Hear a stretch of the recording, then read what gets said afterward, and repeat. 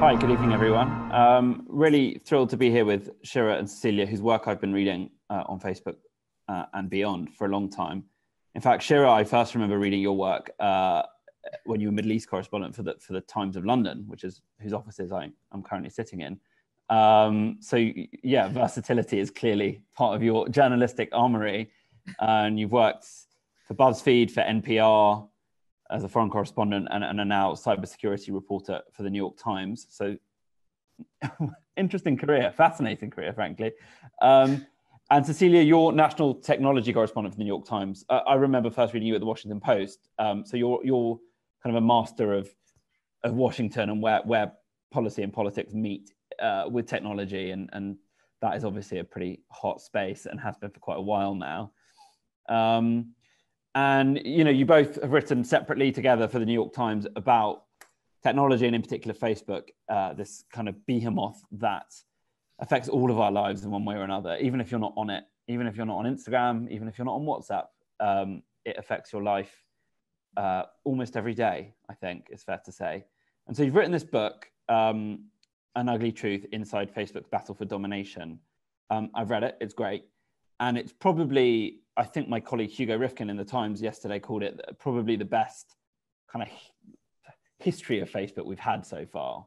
Um, it's obviously it's, it's still quite a new company. It still changes almost week to week, but um, it's pretty comprehensive, certainly in, in recent years. Uh, but also it takes us back to some of those uh, founding relationships and, and why, uh, how important they are and how they sit at the center of Facebook, particularly Mark Zuckerberg and Sheryl Sandberg. It's fascinating dynamics between them. So we'll get into all of that.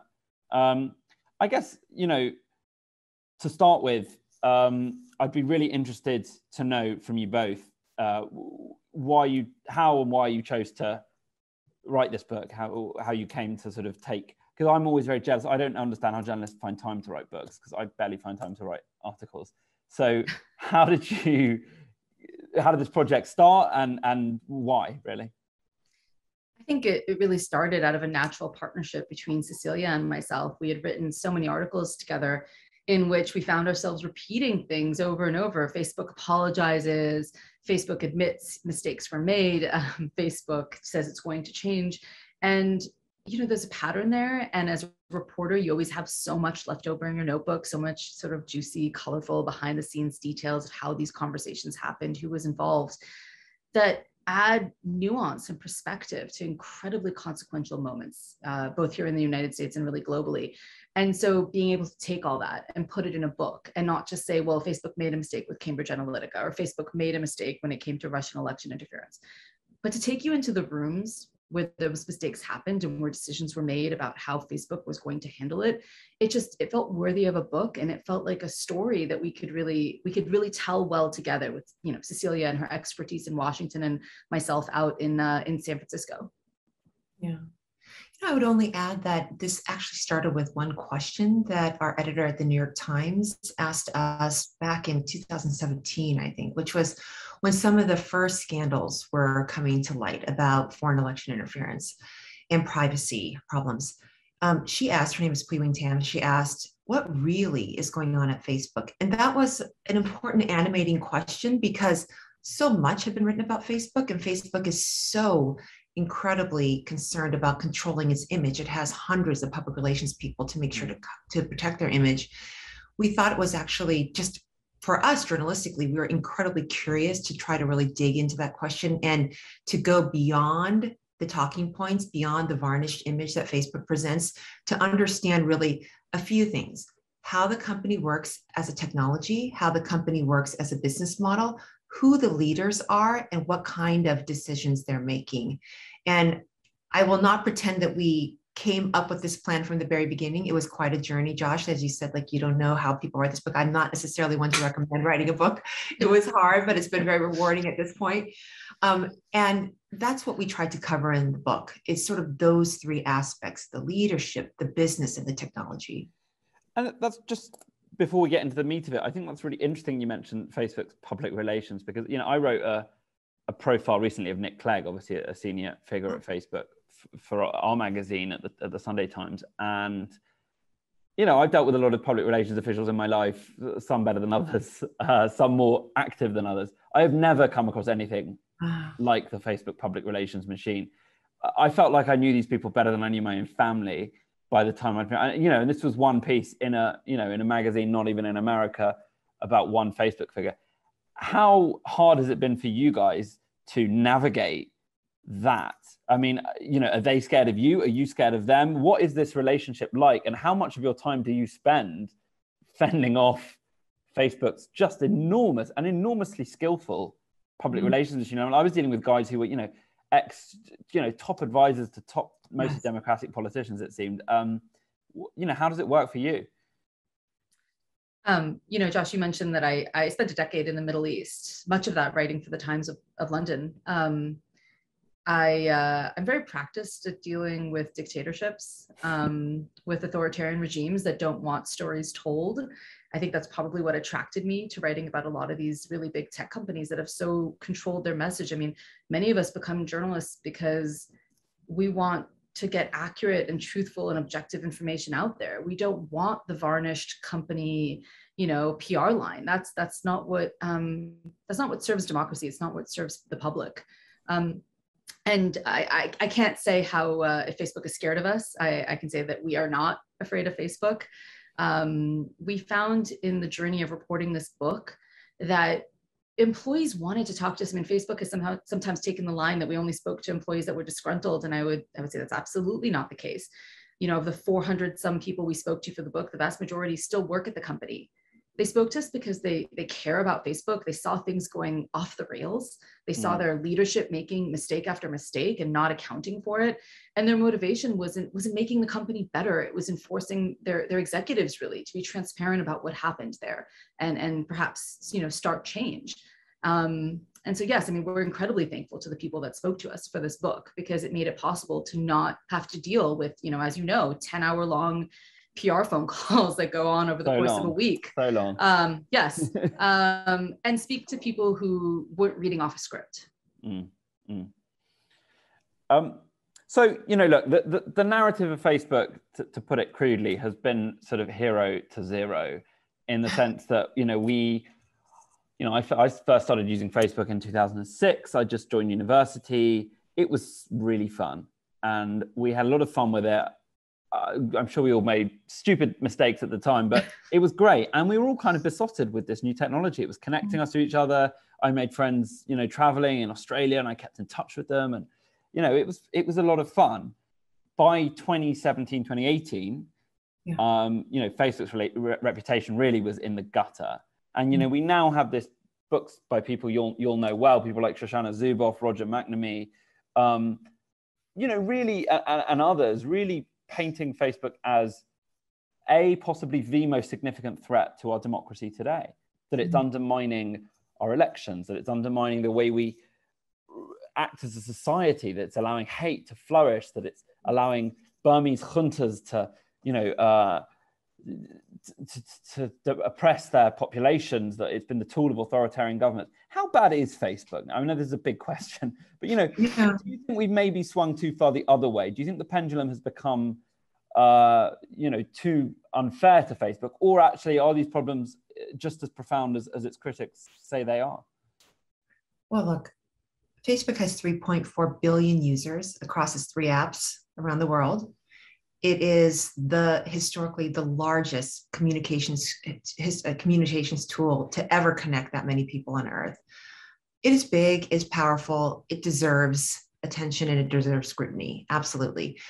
It is um, it is a company as far as how how bad is it? Well it's i think some of the anecdotes can let people judge for themselves. I mean even today very recently the chief of staff of the white house said that when they're talking to Americans who aren't willing to be vaccinated, he, they ask these Americans, well, why not? And oftentimes the people will say things that are just false, like the vaccine leads to X, Y, and Z, which is completely ludicrous and false. And then the White House asks, well, how, how, did you get that information? And almost always, this is Ron Klain, the chief of staff of the White House, said they learned it on Facebook. So we're still seeing the, the present danger of the flow of misinformation.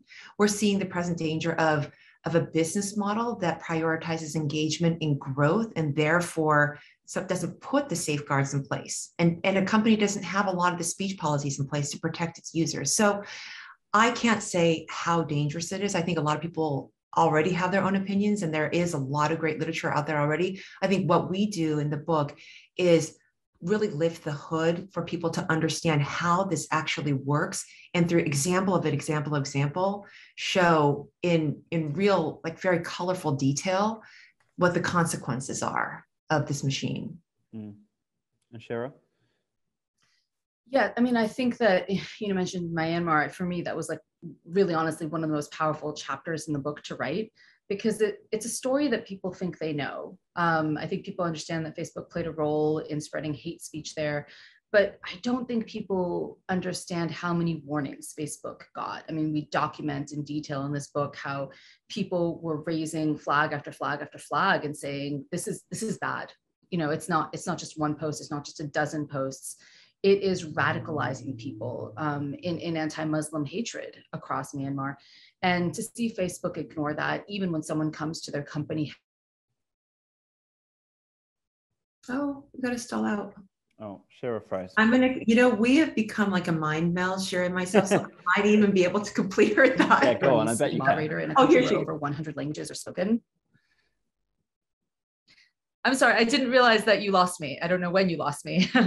um, somewhere in uh, sort of yeah, Myanmar. Somewhere uh, in my, I'm lost in Myanmar. Um, I was just in the patterns there, and they had you know one Burmese speaking moderator in a country where over 100 languages are spoken. To me, that was such a damning detail. Mm. Um, you know, how can you possibly hope to understand what's happening in Myanmar? How can you possibly hope to avert the spread of hate speech there when you don't even have people that are speaking the languages to moderate the content that is coming from there? So there's there's a there's a kind of vignette at the beginning, or more than a vignette, sort of a, a, a, a chapter, if you like, at the beginning of your mm-hmm. book that is very eye catching to me, and it's about Facebook engineers uh, who were fired about seven years ago, 52 of them, um, for uh, abusing the system, and in this case, it was using it to stalk women or to um, you know find out what women were who they wanted to date or to, to check up on women who had rejected them, this sort of thing. Um, and the reaction from Facebook, obviously, these people do eventually get fired, but it's it's that classic Facebook thing we've seen that it's it's kind of slow. It's it it it doesn't quite seem to worry. Uh, it doesn't quite seem to give the problem the precedence it, it probably should have done. Well, I wonder why you started the book with that mm-hmm. story and what it sort of illustrated for you about the company that you that you were writing about. Um, you know, we thought it showed something about what their priorities were. So, in order to understand the importance of that anecdote, you have to understand why these engineers were able to stop women essentially and, and, and find that kind of data on users. And it's because for Mark Zuckerberg, when he launched the company, when he hired his first employees, the priority was growing as quickly as possible. It was moving fast and scaling things. We have a profanity in the book, which I'm not going to include on, on the show today, but engineers were encouraged to ship products as quickly as they made them. And in order to do that, he gave them free access to user data. It was a way of getting them to work very, very quickly. You don't have to theoretically see if something works. You can test it on a real person in that mm-hmm. moment and see do they like this feature that I've created or not. Even though they were firing people year after year, and those those 52 people you mentioned, that was just in one, I think, two-year time frame that was studied. We don't know how many people were fired before then and we don't know how many people were not caught. We mm. just know that in one two year time frame they caught 52 people. Mm. they kept that feature going until it was literally flagged for them in a report they could no longer ignore. Their new head of security said this is a huge issue. Your own employees are over and over again abusing their access to user data because you have not created ways and systems to catch them and stop them you have you have made it so that you know it's a matter of time before this happens again. And he insisted that it that it be changed. And it was only then that Mark Zuckerberg sort of said, "Oh, right, well, let's change this." It highlighted for us a problem and a pattern that was going to repeat over and over again in every chapter, which is not acting proactively, not seeing around the, the next corner, and honestly, not not seeing the potential for for for you know for things being misused and and mm. things being misused by bad actors. Mm. And so you know, at the at the very core of Facebook and, and at the core of your book is this relationship between Mark Zuckerberg and Sheryl Sandberg. Um, and they also go on quite an interesting journey. There's an interesting narrative to arc to that. It starts, it's it's this kind of magic meeting at a party. They talk for hours. You get the sense Zuckerberg isn't that interested in most people. Don't really think most people have much to say to him because he's so, so, ahead of everyone. But he really wants to listen to Sheryl Sandberg. He senses that she can provide something for Facebook that he doesn't have. He has mm-hmm. this vision. He has these skills, but he doesn't necessarily have the, the business now, the Washington clout to turn it into what it is today. So they have this kind of meeting. And for a long time, it seems like a kind of golden partnership. But in your book, you show that it has soured somewhat in recent years, possibly over the Trump era, which you know soured so many relationships and, broke so many friendships. And um, so, t- talk me through th- their partnership and where are they today? I mean, it, it, one can conclude somewhat from your book that Sheryl Sandberg is not the power she once was at Facebook. But, but tell me more about them. Yeah. Uh, you know, as one executive told us, and it's in the book, um, the company is no longer led by a number one and a number two, is now led by a number one and many. So that tells you the current state of Facebook. So, what happened when Facebook began to, as you said, went from hero to zero, when it really was was you know going to this sort of downward reputational spiral, is Mark Zuckerberg decided to seize much more control over all the things actually that he found boring and that he delegated to Sheryl Sandberg for many, many years. That meant especially policy decisions and what was happening in Washington. And he was really upset. And he expressed to people that he was really upset with the way that Cambridge Analytica, the data privacy scandal, as well as election interference, had led to this, this reputational crisis for the company. He blamed Sheryl Sandberg. It should be noted that both of those things, they're both sort of breaches that stem from his side of the business. He was a products guy. He was making the decision that allowed data sharing and allowed for, for these things to happen that were that Sheryl Sandberg was supposed to clean up image wise. So he was disappointed. And we saw in what's known as the wartime meeting around 2018, mm. Mark Zuckerberg declares to his executives, and we have in the book a meeting where he essentially says, like, look, a CEO during peacetime can do what I did before, you know, which is to delegate certain things. But when you're in wartime, you have to really seize control. And Mark Zuckerberg is somebody who really sees himself as, you know, in this case, he kind of compared himself as like a godfather mafia boss, but he also sees himself as like a great leader, um, like a Caesar Augustus. He really actually really looks to Caesar Augustus as a real role model. And um, and so it was a real turning point for him personally.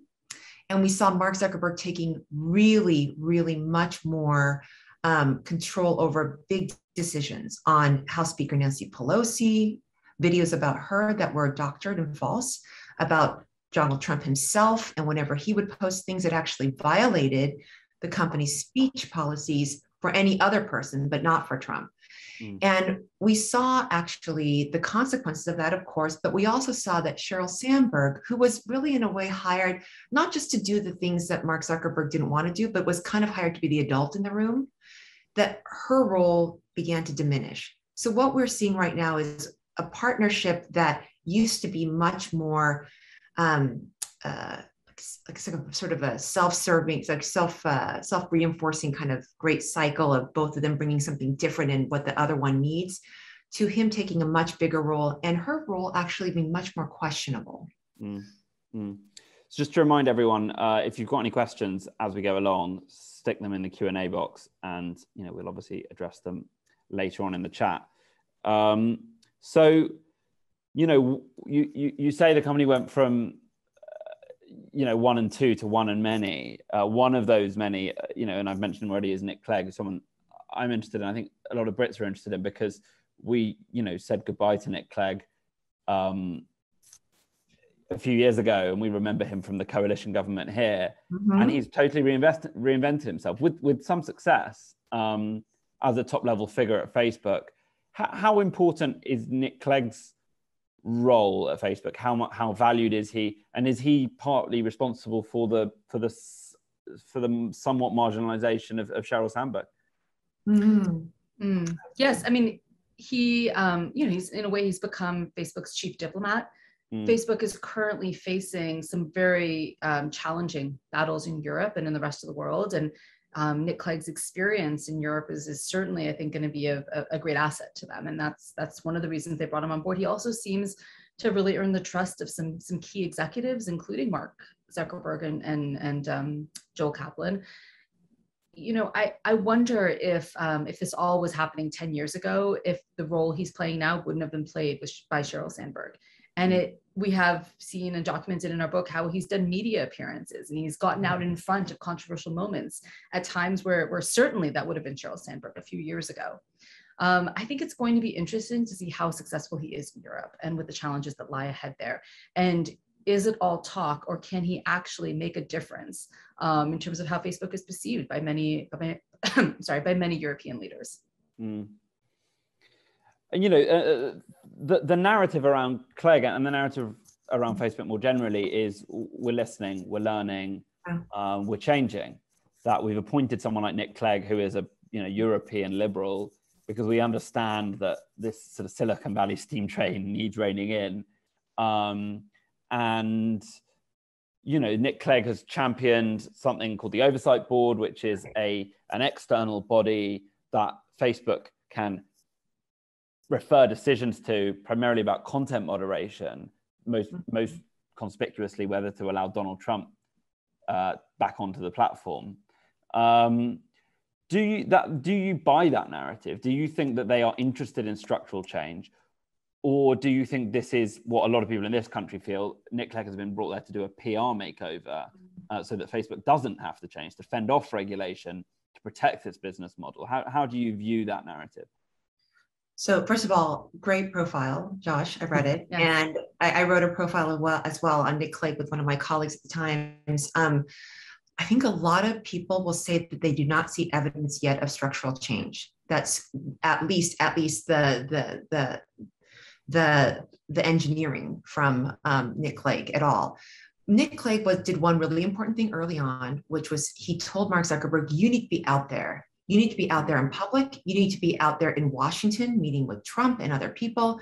You need to be out there meeting with lawmakers around the world, meeting with Macron and other world leaders, and just being the face and showing that you are in not just in control, but that Facebook has a plan, mm. that Facebook wants to be present. So, what they talk about in these meetings is Facebook says, and this is Nick Clegg encouraging Mark Zuckerberg, we embrace regulation and we think we we realize that we are big and we are powerful and it's just too much responsibility. So please help us guide us the way.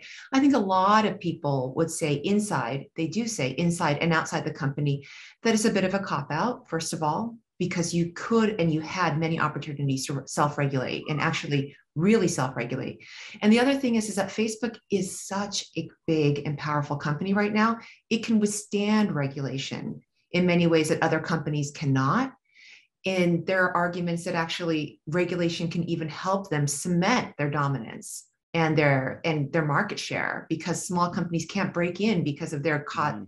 they have to subscribe to this kind of regulation. So I I think that you know the role of a chief diplomat, if you were to further that that great metaphor or analogy that um Sheera brought up, um, it's often meeting, negotiating, you know, presenting new ideas, structural, structurally, we have not seen anything change to some very, very key things, which is number one, the fact that growth continues to be the number one goal, and that the business model, which is based on engagement and trying to get people to come back over and over again. And we showed through story after story about how these things were formed, these, these two really main pillars of the company, and how that's not changed at all. Mm. Mm. And so, you know, the, the, the allegation ones here, a lot, a lot, one has thrown at Facebook a lot is that they are profiting off hate. That the, the, the core to their business model is is basically allowing for the proliferation of people's absolute worst instincts, um, and that draws people in, and it you know allows them to profit off that.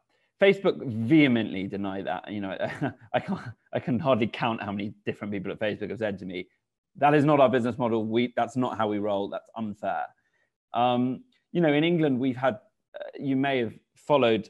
Uh, we've had a sort of great eruption of news this week following our very tragic loss in the Euros final last Sunday, which was that there was a torrent of racial abuse, vile stuff, hurled at three England players, um, black England players who, who missed penalties, a lot of it on Facebook and a lot of it on Instagram.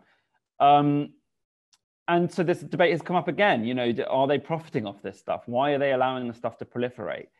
Do you think do you think this stuff is core to their business model? Why why can't Facebook simply prevent people sending monkey emojis to Black England players using the N word? Like, why is that? Why can't they just stop it? What's to a lot of lay people, it just seems like what make just make it stop. You know, Mark Zuckerberg is so powerful. This is technology is so advanced.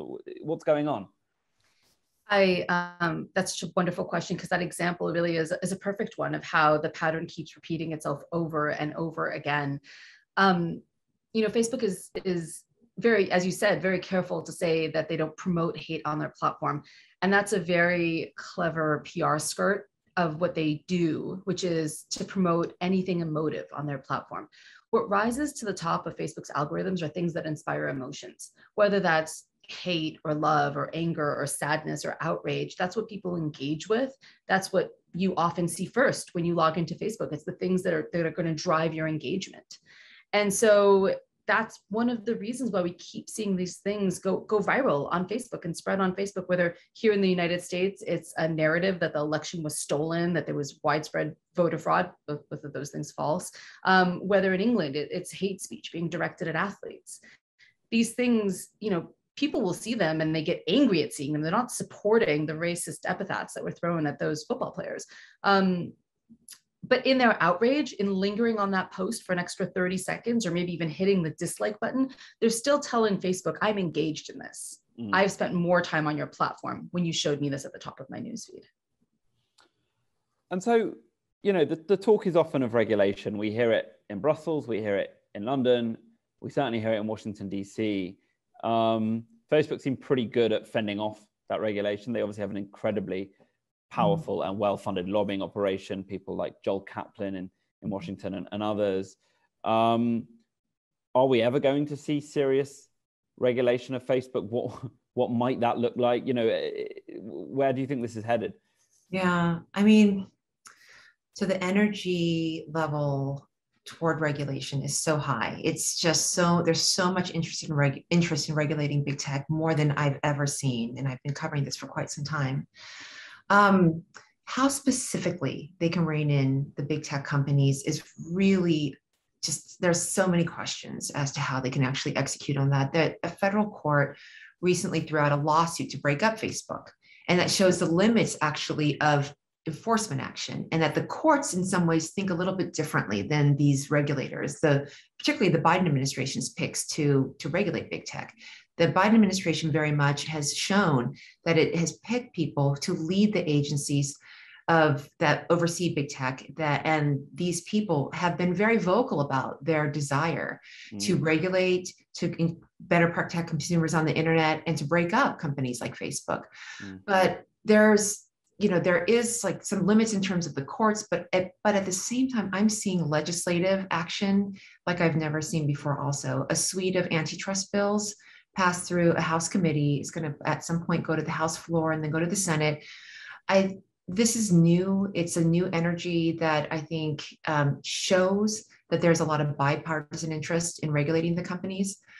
It's it's the, the question is how do you fit century old, decades old, in some cases centuries old law to to you know to regulate companies that just defy the definitions of the economies and the the businesses for when those laws were first created. It's like mm. putting square pegs in round holes. It's really yeah. hard right now.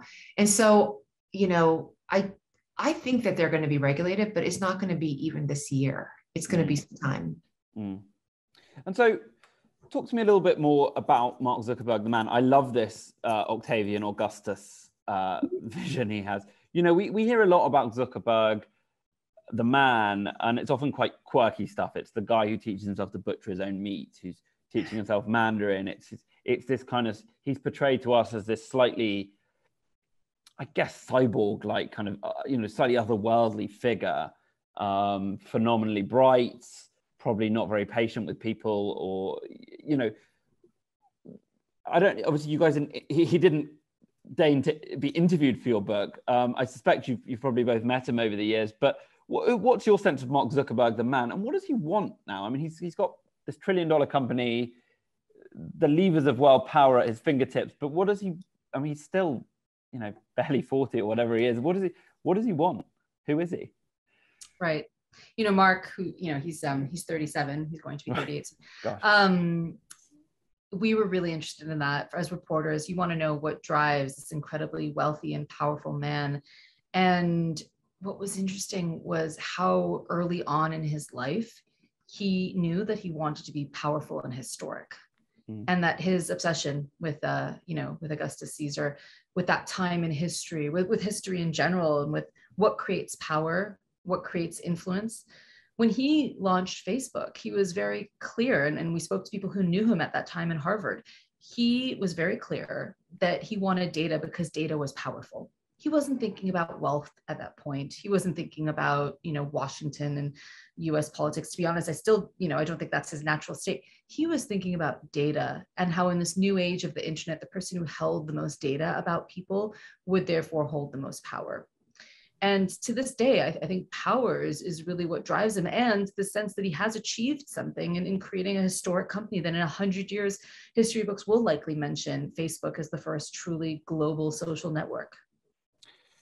I mean yeah i was as an undergraduate thinking about how to afford better vodka and finish my essays. So that slightly terrifies me. But um but you know there are these there's a lovely little vignette in your book where mark zuckerberg hosts uh, Sergey Brin and Larry Page and Eric Schmidt, the sort of three guys, founders and, and CEO of Google, um, for a meeting, and it's in his tiny little sort of studio in Palo Alto, and he, he, people are sitting on futons, these kind of vast figures uh, in our technological landscape, um, and, and they're discussing a merger. I mean, was there seriously a possibility that, that Google and Facebook might that Google might have acquired Facebook? I mean, it's sort of now one you know one already thinks of these companies as far too large. I mean, that's a Google, Facebook kind of mm. uh, sort of Ouroboros. I mean, it's just a terrifying thought. Like, what, what, what was that about?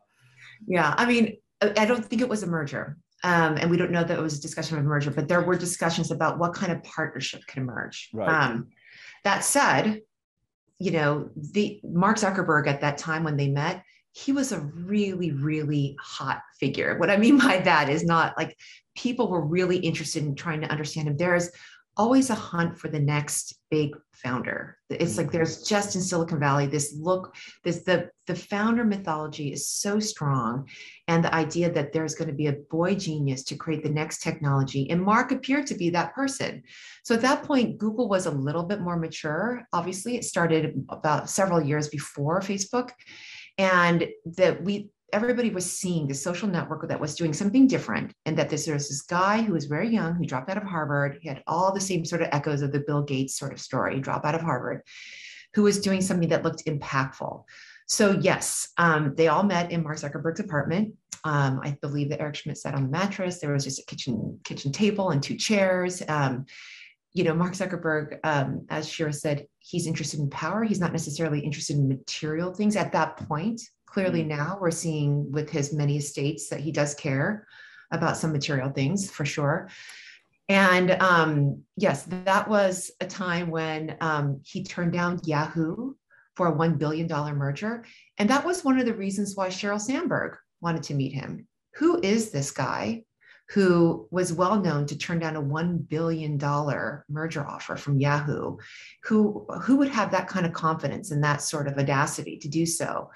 So it was a really interesting time for Mark. And you can imagine that it fed into his confidence and the person that he has become today. Mm. Okay, we're going to have one more question from me, and then we've got some questions coming in at the box. So if you've got any more questions out there, now's your time to input them. Um, you know, July 6th, obviously a big moment for Facebook. The hope was for Facebook that having clearly not come out shining from the 2016 presidential election that they were going to have a better run this time around. They did put some new systems in place, although people like Yael Eisenstadt, who's, who left Facebook, uh, have said that those systems were woefully inadequate, or she wasn't allowed to to really do what she wanted there. She was there to try and sort of improve Facebook's role in the election. Um, but they probably came out of 2020 better than they came out of 2016 until maybe we got to January 6th. January 6th, the invasion of the Capitol, what many people would call an insurrection, frankly, in Washington, D.C., um, much of which was discussed, organized, activated on, surprise, surprise, Facebook. So, how damaging was that to their kind of narrative of we're getting better at this? Uh, we've got new safeguards. Um, did January 6th just kind of send all that up in a puff of smoke? I mean, what's the aftermath of all of that been for Facebook? You know, I think January 6th was an excellent example of highlighting exactly what Facebook has not yet addressed. Facebook, you know, uh, rightfully says that they have helped stop disinformation on their platform. They've helped create a model for how other companies can stop disinformation by forming the security team that is now very active in rooting out Russian, Iranian, Chinese, et cetera, uh, disinformation campaigns. And so what happened in 2016 is, is now much, much harder to, to begin to accomplish. I mean, the Russian, Russian campaigns are now found almost monthly on Facebook and removed. What they haven't figured out is misinformation. It's people spreading bad information to one another, people spreading conspiracies to one another. That's what happened on January 6th. For months, this narrative spread on Facebook that the election had been stolen, that voter fraud had happened.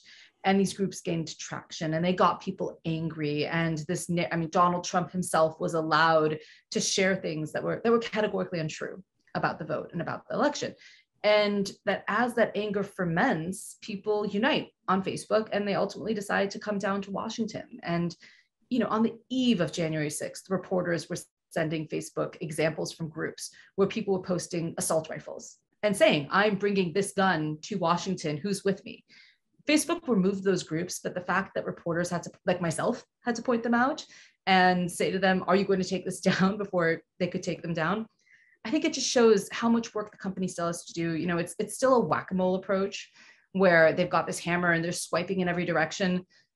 That, you know, ultimately, how long can can that be Facebook's approach? Yeah, I mean, when you're looking at America today, uh, you have a third a third of the country kind of not taking the COVID vaccines, which are widely available, um, and then you have a you know a Delta variant spreading rapidly really in only in the places where people aren't taking the vaccine. And you can't just blame all of that on facebook of course but it's clearly not helping. Um, last quick thing from me before we go on to the q&a donald you meant uh, which i really want to know is whether you think we will ever see donald trump back on facebook oh. i thought they really rather fudged this decision you know they yeah. were, the oversight board yeah. were going to do it and then they tortured yeah. they kind of said actually you know kick it the can kind of got kicked down the road ultimately it seemed to me like mark zuckerberg and, and a couple of others were making the decision but are we ever going to see trump back on facebook what you know what, what's the score there well, isn't it interesting that the two-year ban ends right now? Trump is banned for two years, and that ban will end in right. January, exactly, at a time when he can begin to run for the president again for the 2024 election. So I mean, I don't know, Josh, should we take a bet right now? Like, I don't, I actually think he's going to be, I think he's going to be brought back on. What about you, Sheera?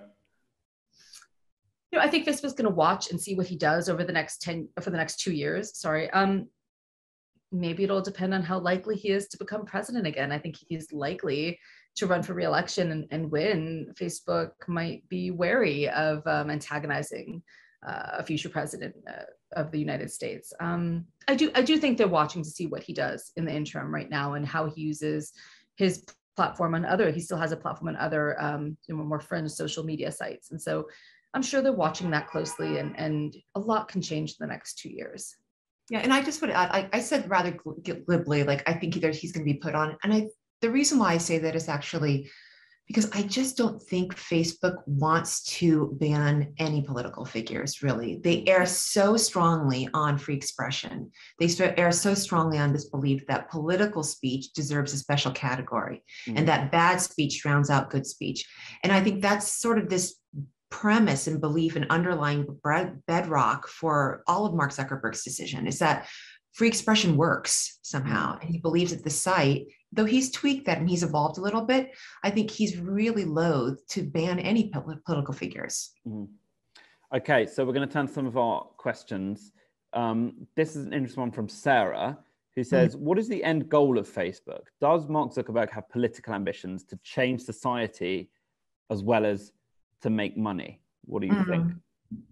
I think Mark Zuckerberg wants every human on earth who has an internet connection to be a Facebook user. And I really mean that. I think he really believes that his, his ability to be a historic figure is to connect the whole world. Um, we've heard that mantra so many times connect the world, connect the world. What he doesn't do is say what happens next when the world is connected. And that's really one of the reasons why we wrote the book is we've seen all the consequences of that.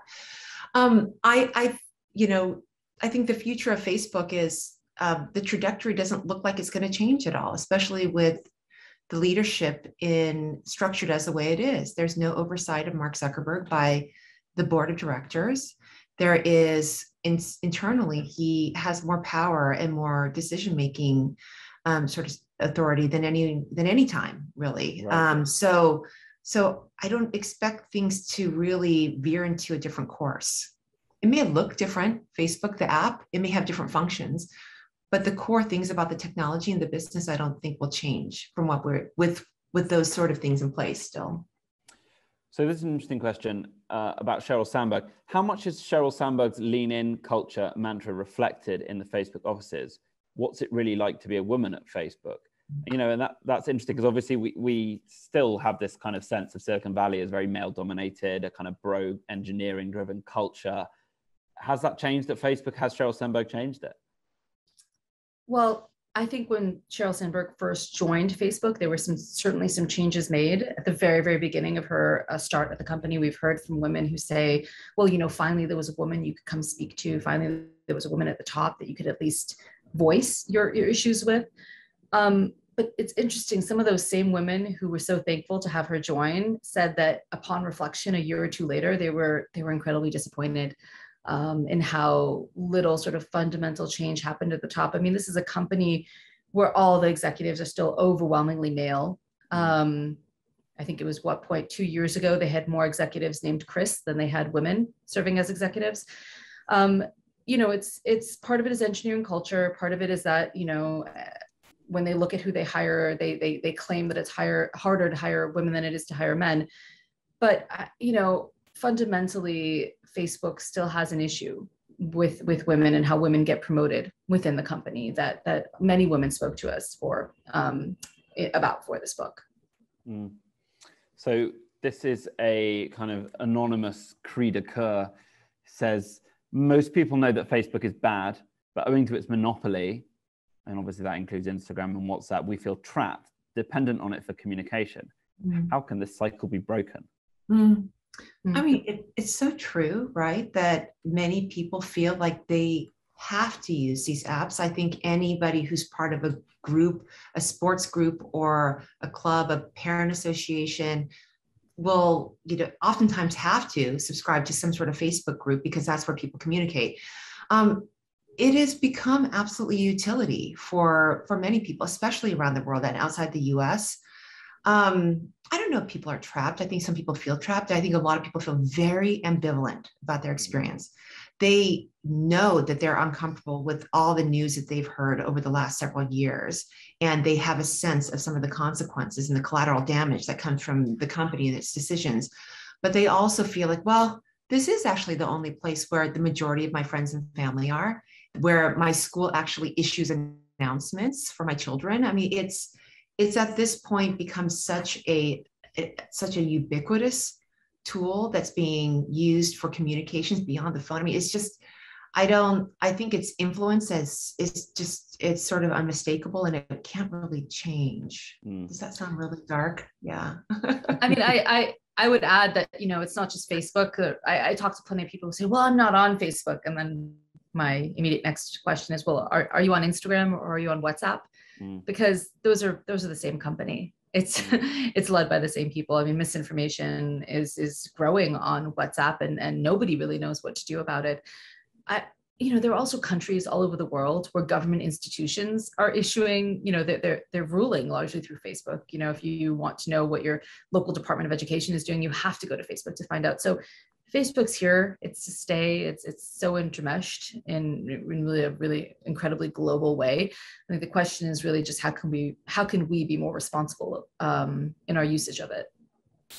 Yeah i mean the misinformation on whatsapp thing's interesting isn't it? Because it's it's private and it's encrypted. So you know, who, who could, re- uh, you know, obviously Facebook can see it theoretically, but um, it's a difficult one that. So we have a question from Karen Wilson and goes back to this idea of, you know, hate and the proliferation of hate on Facebook. And she says, you know, is, is Mark Zuckerberg able, if he wanted to tomorrow, could he stop the proliferation of hate. I mean, I guess he couldn't stop everything, but could can he turn this switch off, or is it kind of almost beyond his control at this point? Frankenstein's monster and so what and so forth. Um, there's no switch. It's not ever that easy. Um, could they do more? Yes, there's always more they can do. They're a trillion dollar company. I think, especially again, I hate to go back to this, but in the parts of the world where um, Facebook is still being used in massive numbers, you know if you if you if facebook were to ever issue a per capita breakdown of how many moderators they had working on the you know in portuguese working in um, in burmese you know working in all these other places i'm sure that the number would be really frightening compared to what they have in terms of english language content mm. moderation um, so yes there's always more that they can do and and really there's um there's more governments can do as well in terms of helping facebook figure out what what what should be the role here i mean should governments have a role in saying to Facebook, right, we're drawing our, our line is here. If you have speech on your platform that disenfranchises people from voting, that's that that's not you know that's not something we're going to allow. Um, you know, if you have content on your platform which in the middle of a pandemic causes people to behave in a way that threatens public health we're not going to allow that do governments start to play that role rather than waiting for facebook to always be responsive so one one question I have is is about you know you cover this in the book about the Cambridge Analytica scandal, mm-hmm. um, you know, which is obviously a big story in the UK as well. Um, how much of an inflection point was that? How big was that internally? How worried were Mark Zuckerberg and senior Facebook leaders about that scandal, or was it just another PR issue for them? Yeah, it was a huge moment. It was a big turning point internally and also among the public. Mm. Um, this is, mind you, right after there were discoveries of foreign election interference on the, the platform. So there was already a, a, suspicion around the company and also anger towards the company um, among users, lawmakers around the world. So, Cambridge Analytica, what that did was it actually gave people a different view of Facebook and understanding how the machine works a little bit more, understanding how data was had been transferred for many, many years between the company and third parties, thousands of third parties.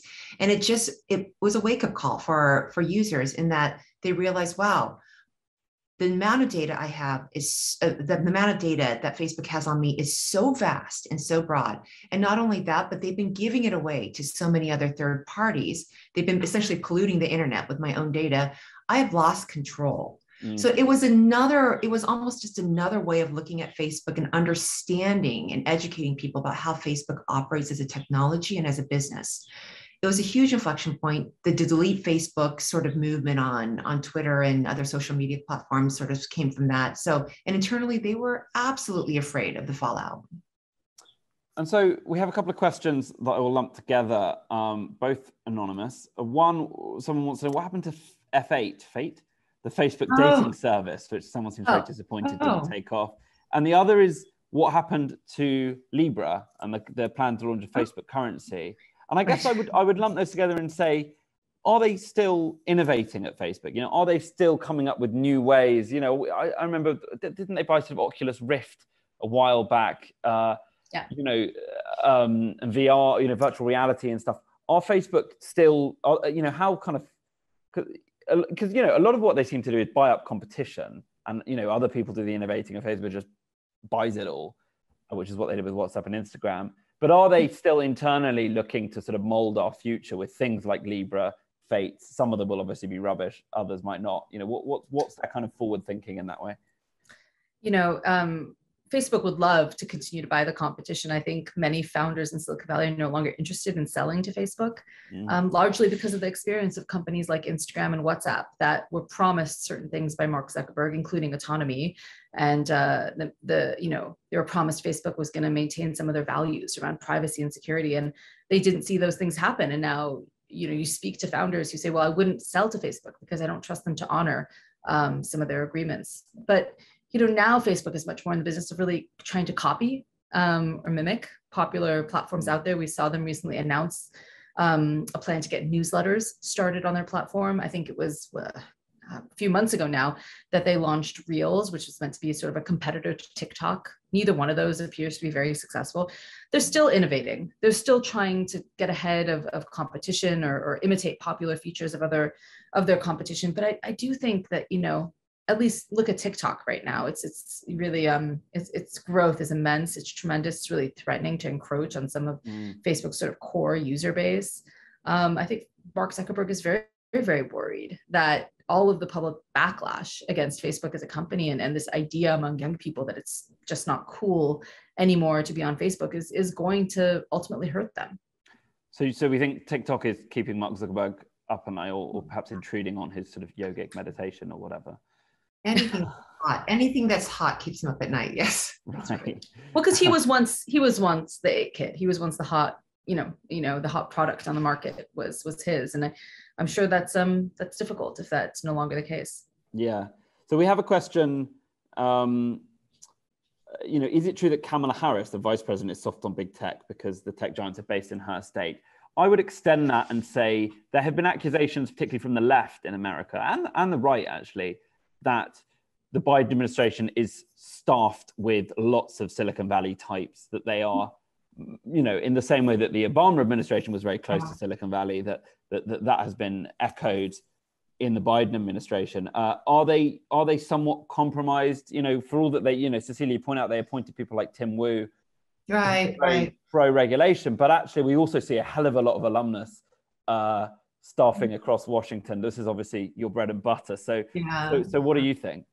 Yeah, I mean, I, I think the Obama administration, the revolving door during the Obama administration was much, much bigger and much, much more active. But you're absolutely right, Josh. There are a lot of people who have come from tech who are in the administration. That um, it's very interesting that people who have been names floated for very important roles um, in antitrust, for example, um, at the Department of Justice, who have backgrounds working for tech or their firms even working for tech, their law firms working for techs, their, their nominations have been slowed down. They have not been named because so many public interest groups, so much, so much of the public is so upset with the idea that tech is influencing from within, trying to go into the administration and influence from within. So I think that what's changed is accountability about that. People just don't think that that's okay. It's a, such a such a common practice in Washington, and I think folks in Washington are a little bit jaded about the revolving door. I think outside of Washington, most people I speak to are sort of astonished to hear that people recycle in and out of government in the private sector. And I think at, in this instance, there's just a, a, a, new stance. A lot of people are saying, no, that's not okay. And so that's holding up actually nominees. Mm. Well, that is probably quite encouraging in a way because, you know, it used to be Goldman Sachs and, and, and, and the big banks. And there's obviously still some of that too, but it, it is Silicon Valley is the kind of new, the new hotness, so to speak. But there's a question from Alex B, uh, who says, what role is Sheryl Sandberg playing now if she's been diminished. And I, I would add to that, could you see Sheryl Sandberg leaving Facebook, given the kind of status quo that you described, that she's she's no longer the sort of very prominent established number two to Zuckerberg's number one. So, so what what is she doing, and could, and could she end up uh, finding something else to do?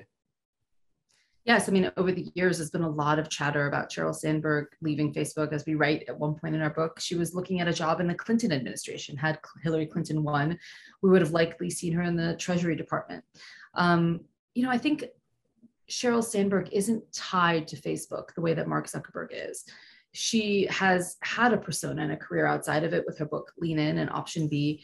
And I imagine that she wants something else because at Facebook, she'll always be a number two um, position but you know we also know that she's someone that that isn't going to leave on a low note. She wants to kind of you know recap some of her reputation. She wants to to you know to not be blamed for all the failings and faults of facebook. And so I'm not sure. I think it's a it's a question of um, when she leaves and not if she leaves. Mm. Um, and in terms of what she's doing now, you know, she's taken on this interesting portfolio of doing um, sort of outreach to small businesses. Um, we've seen her really promoting this idea that Facebook is going to be doing more with small businesses. It uh, especially during the pandemic, that was something that she she talked about a lot it was very interesting to me though to notice that while she was doing this you know she was in a sense left out of the bigger discussions about the pandemic. You had mark zuckerberg being the one to appear and, and, and, and interview um, dr fauci. You had mark zuckerberg being the one to talk to the head of you know various kind of world health organizations and play that much more you know high profile and diplomatic role. So just a couple more things then. We've got why does facebook get so much backlash for outrage but twitter and youtube don't? I mean obviously they do sometimes yeah. but do you think yeah. facebook gets un- an un- disproportionate amount of backlash I say fair on YouTube, and I'll come back to that. Um, I would remind folks on Twitter that Twitter is actually much smaller than Facebook, much, much smaller, though it does amplify messages in a way that's so powerful, especially the former president, President Trump. And that information gets hops onto other platforms and makes it into the mainstream. Mainstream. Um, look, Twitter is um, has been more proactive when it comes to political figures and they've been willing to experiment as well and they're very transparent on how they are coming up with a speech policy. They also say very just just very openly like look we're trying to figure it out. Please academics come in. We want to share all of our data with you and what we know. Come in and help us. Academics the public etc so twitter has definitely not made all the right decisions. It's made tons of mistakes in the long run but they've been willing to be a little bit more um, um, aggressive. So I think that in that way, there's a lot of anger towards Twitter, but people can see that they're trying to to to change things. YouTube is a really fascinating case study. It has kind of been a sleeper. People do not pay attention to how how YouTube is such an important source of information and misinformation. Mm-hmm. And Sheera's reported on this quite a bit. There is just so much dangerous information that gets caught, that gets um, sort of passed along and passed along, and not, and also through the recommendation recommendation engines, just keep being amplified. I think YouTube has taken some efforts, especially on the recommendation engine, to try to suppress some of that and slow down some of that. But I, I, we actually kind of laugh within the tech team at the New York Times that we don't laugh, but we we always do kind of scratch our heads. Like it's so interesting that people don't focus so, as much on YouTube. Mm. We're very interested in focusing on YouTube. That I should yes. say that. Oh, uh, uh, as a reporter who covers misinformation, I'm always kicking myself for not doing more YouTube stories. That they are more difficult to do because YouTube is constantly removing videos and then not explaining why or making it impossible to even find out when they've removed the video or or why. Um, but I absolutely think that's going to be something a lot more reporters start to look at and, and try to sort of unlock is this idea of, of how misinformation and how hateful speech is being spread on YouTube.